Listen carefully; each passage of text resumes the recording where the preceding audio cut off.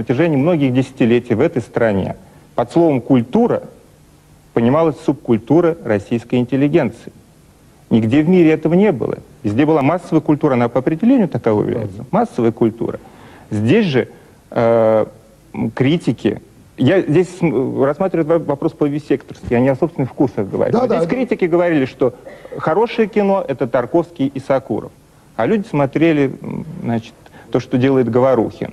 А, показывали в прайм-тайм э, «Лебединое озеро», Чайковский, Петр Ильич. Великий композитор, но люди предпочитали слушать в массе своей Владимира Семеновича Высоцкого, Аллу Борисовну Пугачева, Александра Борисовича Градского и так далее. На протяжении десятилетий субкультура российской интеллигенции, которая ничуть не хуже и не лучше субкультуры северных народов, субкультуры питерских рок-н-ролльщиков, она была доминирующей. Она, это то, что называется культура. Сейчас говорят, культура умирает. Да нет, все становится на свои места.